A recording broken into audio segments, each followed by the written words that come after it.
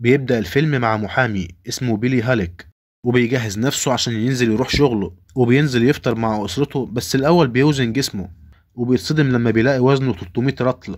وبنفهم إن بقاله كتير جدا بيحاول يخس بس مش قادر. وبيروح عشان يفطر مع بنته ليندا وزوجته هايدي اللي مخليه دايما ماشي على برنامج غذائي معين عشان يخس. وبعدها بينزل يروح المحكمة عشان يدافع عن موكله اللي اسمه ريتش جينيلي وده يبقى زعيم عصابة. ومحكوم عليه بالإعدام ولكن بيلي بيثبت براءته والمحكمة بتحكم بالبراءة. وبعدها بيخلص وبيروح مكتبه وبيشوف كرفان لواحدة غجرية وجوزها. وبيطلب من الشرطة إنهم يطردوهم لأنهم سادين باب المكتب. وبيخلص شغله وبيروح بالليل يحتفل هو وزوجته عشان كسب القضية. وبيروحوا بعد كده على البيت وهم في الطريق بيتخانقوا مع بعض. وبيتوتر من الخناقة ومبيعرفش يسوق. وبالصدفة كان معدي الراجل وزوجته الغجرية. وبيخبطها بالعربية وبتموت في الحال.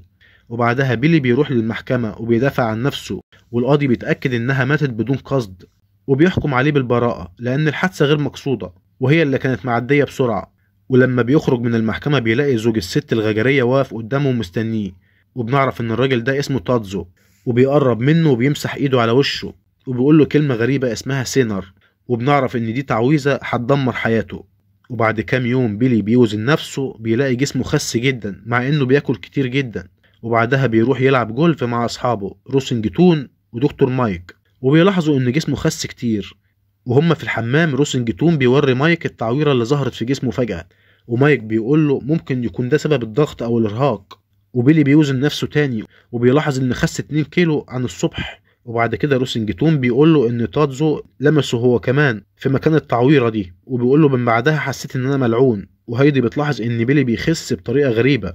وبتعرض عليه إنه يروح يكشف عند صاحبه الدكتور مايك وبيروح له وطلب منه يعمل أشعة وبيقول له أنت حالتك الصحية كويسة جدا وما عندكش حاجة.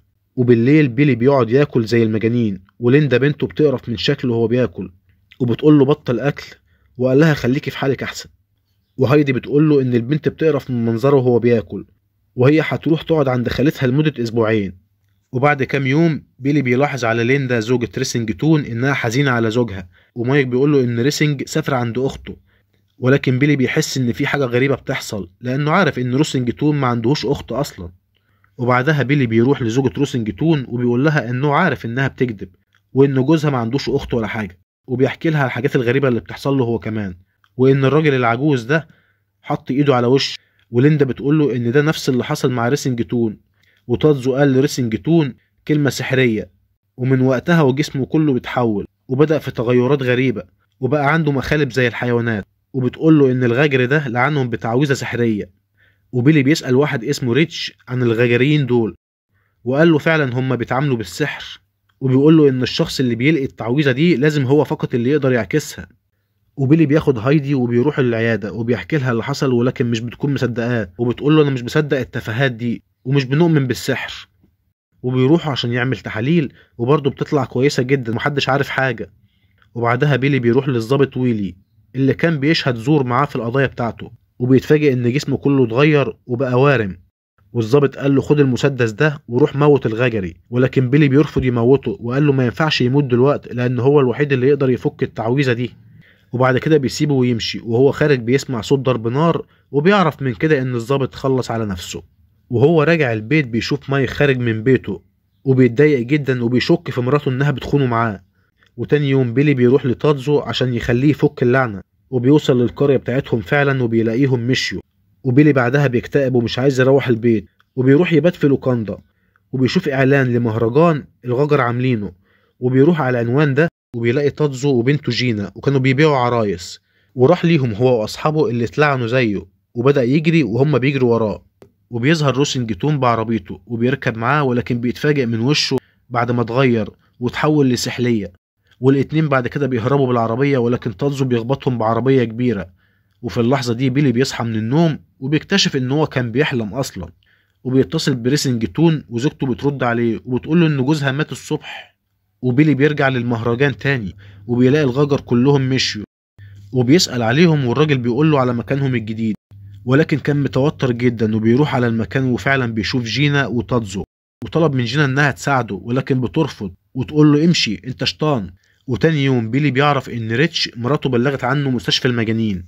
وبنشوف ريتشي بيتخانق مع جينا وبيطلع سلاح وبيموت عدد كبير من الغجر.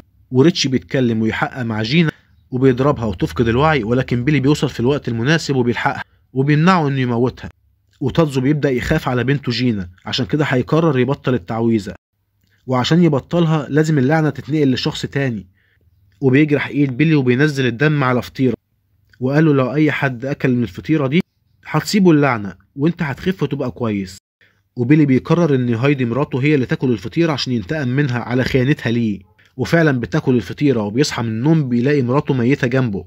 وبيتصدم كمان لما بيعرف إن بنته ليندا رجعت من السفر من عند خالتها وأكلت من الفطيرة هي كمان وراحت على المدرسة.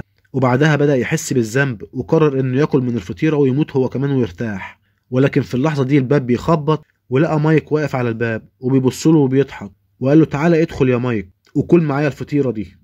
وقرر يخلص على نفسه هو مايك وأكله من الفطيرة. وبكده يبقى خلص الفيلم وسلام.